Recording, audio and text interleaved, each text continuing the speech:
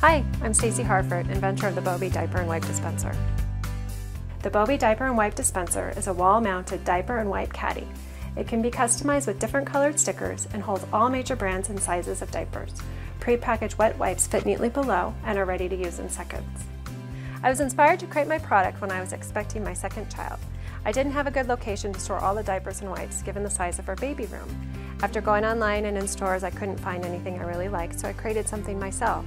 And after using it and loving the way that it worked, I thought other parents could benefit from it as well.